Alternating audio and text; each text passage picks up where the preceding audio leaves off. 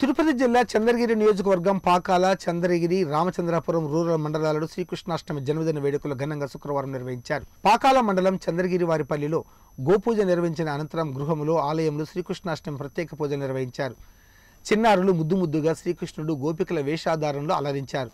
అవతార పురుషుడు శ్రీకృష్ణ భగవానుని చల్లని చూపు అందరిపై ఉండాలని ఆకాంక్షిస్తూ చంద్రగిరి వారిపల్లి వాసులు శ్రీకృష్ణాష్టమి జన్మదినం పురస్కరించుకొని ప్రత్యేక పూజలు నిర్వహించి భక్తులకు ప్రజలకు శ్రీకృష్ణాష్టమి జన్మదిన శుభాకాంక్షలు తెలిపారు.